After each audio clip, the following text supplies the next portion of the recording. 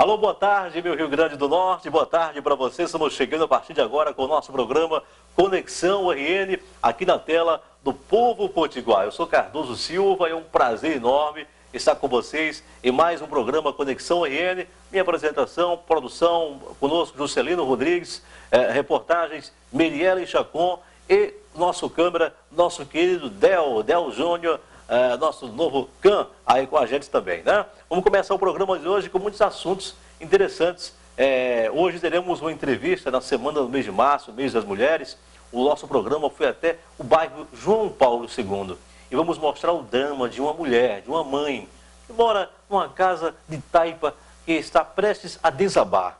Ela fala emocionada na nossa reportagem e faz um apelo. Acompanhe daqui a pouco no nosso programa essa matéria. E ainda é, como funciona um escritório de contabilidade. O nosso programa é, esteve na FAO Contabilidade e traz para você um pouco dessa profissão, contador. Essa matéria é interessante, instantes do nosso programa. Confira ainda a história do açude recreio em Caicó, um historiador que mora às margens do açude recreio é, conversou com a nossa reportagem. Fomos lá, mostramos a beleza que é o açude recreio, né? é, o segundo mais antigo do semiárido. E ainda é, uma entrevista com a mensagem anual trazendo o prefeito de Timbaúba, Ivanildo Filho, Ivanildinho, que traz a sua mensagem anual a, aos munícipes no município de Timbaúba dos Batistas. Conexão RN está no ar a partir de agora.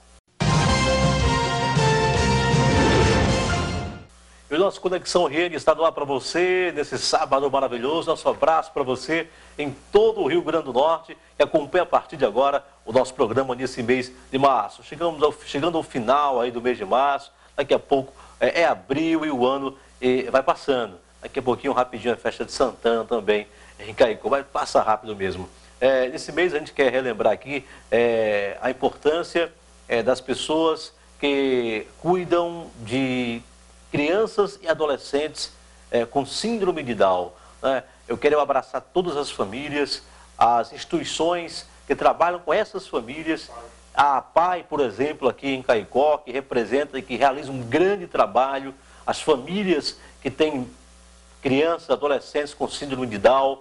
É, o nosso respeito, o nosso carinho e a certeza que essas pessoas merecem todo o nosso respeito. Né? É, e aí o nosso registro né, para essas pessoas portadoras de síndrome de Down nesse mês de março. O nosso programa começa agora também homenageando a mulher nesse mês de março. 8 de março passou aí, o Dia Internacional da Mulher, e foram várias matérias aqui no nosso programa.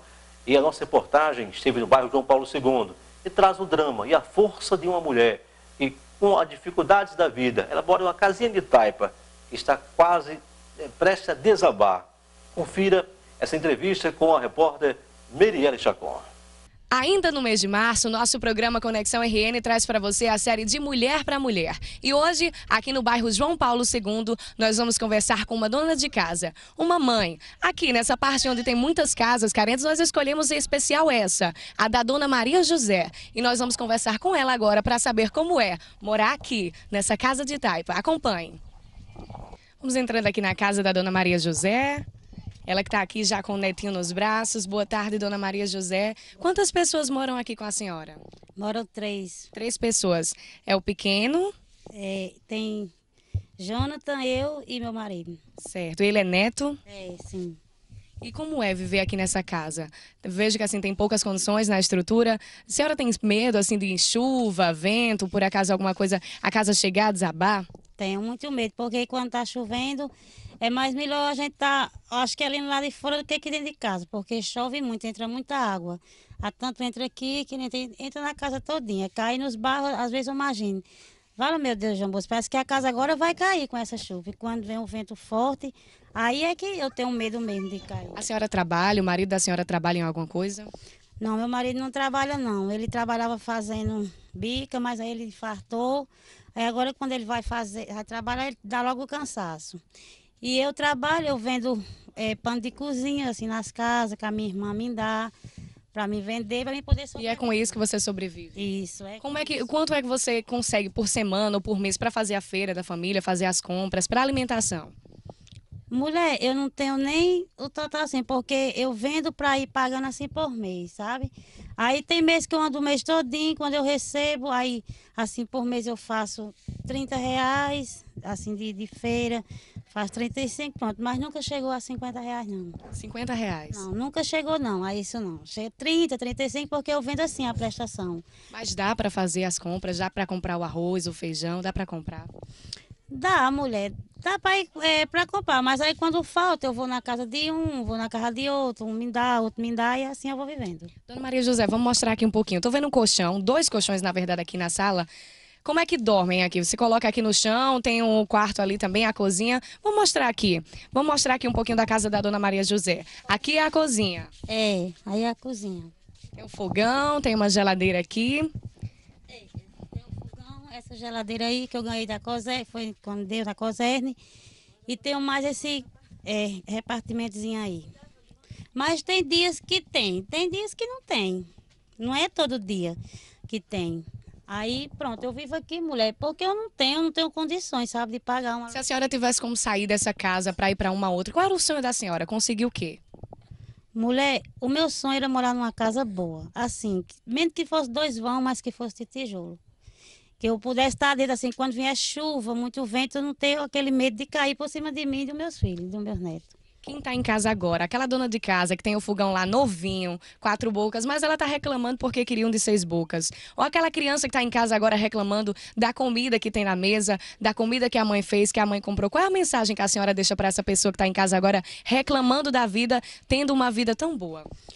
Mulher, é, essa criança que reclama do comer, ela tem que agradecer a Deus, porque aqui já teve dias que eu não tinha nada para dar esses meus filhos, nem o meu neto. Ele tem que agradecer muito a Deus por ter todo dia o que comer, o que dá aos filhos, ter o café, ter o almoço e a janta. E ter um teto bom para morar, porque é porque assim, quem tem mulher e é, não tenho nem jeito de falar. Mas a gente mora aqui porque eu sou pobre. Mas eles têm que agradecer a Deus muito por ter um canto bom de morar. Vamos tentar aqui mostrar. Tem dificuldade de passar nossa câmera pelo espaço? Mostra esse detalhe dessa parede. Mostra o detalhe dessa parede. E quando chove, dona Maria José, como é que fica a situação? A gente bota uns panos assim, pra... porque se não botar esses panos assim, a gente bota os panos aqui Aí não molha a cama todinha, a gente não dorme. A gente fica ali na sala esperando que, que enxuga. Aí eu pego o meu lençol e cubro todinho o colchão para poder a gente dormir. Porque molha. Você está vendo só a situação, né, que a dona Maria José vive. Você aí de casa, você que pode ajudar, você que está assistindo o nosso programa, ou que sabe de alguém que possa ajudar a nossa amiga Maria José a construir uma casa, entre em contato com a nossa produção, ligue para os telefones 9605 2020 ou 9934 2467. DDD 84 9605 2020 e o 9934 2467. Dona Maria José, eu espero que depois dessa campanha, depois desse apelo, alguém possa ajudar a senhora com uma cesta básica, com uma ajuda financeira, alguém de uma loja de material de construção que possa fazer uma doação para que a Dona Maria José possa construir, nem que seja dois vãos, como a senhora falou, não é isso? É, é isso, nem que seja dois vãos para morar mais meus netos e meus filhos, eu agradeço de coração. Se quer me ajudar. Eu não quero uma casa grande, não, uma casa com muito. Dois vão mesmo dar para mim, meus filhos e meus netos. Programa Conexão RN para você de casa. Aí acompanhamos essa matéria, o drama dessa dona de casa, essa mãe do bairro João Paulo II. É, se você pode ajudar, ela inclusive precisa até de tijolo, de telha, porque como a imagem mostrou, a casa está quase caindo realmente aí.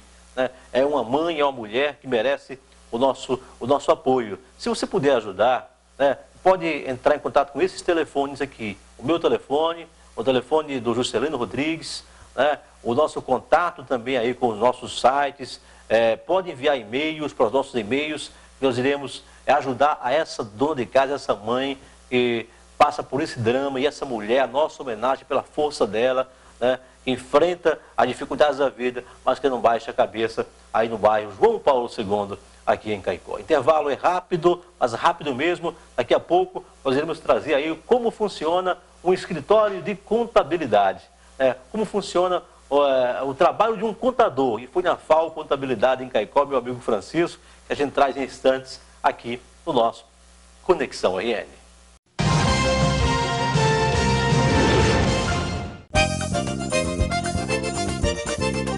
Produtos Vita Quero, o sabor irresistível. Na mesa com a família, no café ou no lanche, tenha sempre produtos de qualidade e mais sabor. Os produtos Vitaquero encontram-se em todos os supermercados do Rio Grande do Norte. Exija o melhor. Produtos Vitaquero, o sabor irresistível. Supermercado Paulino traz mais uma grande novidade, agora com amplo espaço para te ajudar na hora de fazer as suas compras. Acompanhe sua nossa ilha de frios. Maior espaço e com produtos de qualidade. Faça suas compras, economize no Supermercado Paulino. E na hora de pagar, tenha maior conforto, com vários caixas para melhor te atender. Aceitando todos os cartões e com convênio com a PUC, a SEC e Emparne. E por que, que a senhora gosta de comprar no Supermercado Paulino? Aqui é, o atendimento é bom. E o preço? É bom também. Pequenininho. É. Cabe no seu bolso. Supermercado Paulino. Produtos Vitaquero, o sabor irresistível. Na mesa com a família, no café ou no lanche, tenha sempre produtos de qualidade e mais sabor. Os produtos Vitaquero encontram-se em todos os supermercados do Rio Grande do Norte. Exija o melhor. Produtos Vitaquero, o sabor irresistível.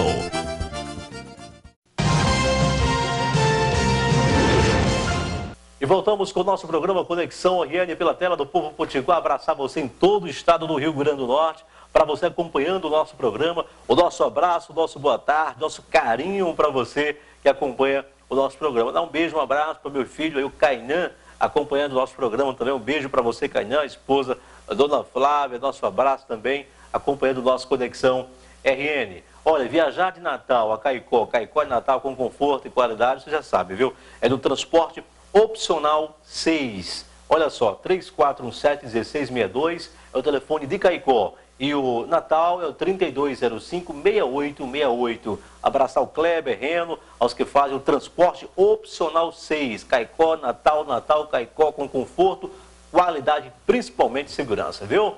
Vamos trazer agora uma matéria do nosso programa, como funciona um escritório de contabilidade. Um abraço a esses profissionais né? e a nossa parceria com a FAO Contabilidade aqui na cidade de Caicó. Nós é, resolvemos fazer essa matéria para homenagear todos os contadores e homenagear e trazer como funciona essa profissão, esse trabalho. Confira na tela com a repórter Merielle Chacon. Hoje no nosso programa Conexão RN, você vai conhecer um pouquinho mais de um escritório de contabilidade. Como funciona? Hoje nós viemos até a FAO Contabilidade, fica aqui no centro da cidade de Caicó, e a gente vai conhecer um pouquinho do funcionamento desse escritório. Já que dentro do escritório da FAO Contabilidade, ao meu lado Francisco. Ele que é proprietário do escritório FAO Contabilidade. E por aqui, Francisco, você é mais conhecido por FAO mesmo, né? Isso. É, há uns 15 anos, é, me titularam de FAO e até hoje todo mundo me conhece como FAO.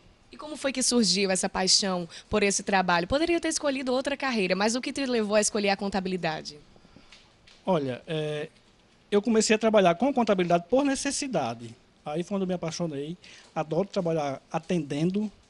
Então me apaixonei por contabilidade e são vários anos já na estrada. Quantos anos tem o escritório FAO Contabilidade? O escritório está completando agora, dia 30 de março, é, 14 anos de existência. Quantos funcionários hoje você conta aqui? Hoje nós temos nove colaboradores. Vamos mostrar um pouquinho deles? Isso. É, primeiro aqui o Murilo, Felipe, o Renan, lá atrás a Iranete, que é a funcionária mais antiga, aí Maicon, Eliette e Débora. Desse lado, você me falou que até o seu filho também já escolheu a carreira da contabilidade. Isso, ele tinha, era apaixonado por educação física, mas joguei ele dentro do escritório, ele se apaixonou e cursa contábeis hoje é meu braço direito aqui dentro. Esse aqui também do nosso lado esquerdo. É o Fernando. Fernando e o Stefferson, vem para cá que eu quero conversar com você. Filho de peixe, peixinho é. Ele que também já trabalha aqui no escritório. Surgiu a paixão do pai, esqueceu a educação física? Isso. É, como dizia ele, eu não queria nada disso para minha profissão. O negócio era educação física. E quando eu entrei, comecei a pegar as coisas burocráticas, as coisas mais complexas, eu gosto de trabalhar com coisas complexas. Então foi da onde eu me apaixonei pela contabilidade, que é uma profissão complexa e prazerosa ao mesmo tempo. Fal, quais as empresas que hoje recebem assistência da FAO Contabilidade? Olha, nós temos diversas empresas, não só aqui na cidade de Caicó, mas em toda a região do nosso estado, certo? É, Seridó, Seridó todo, temos a região do oeste também, algumas no oeste, e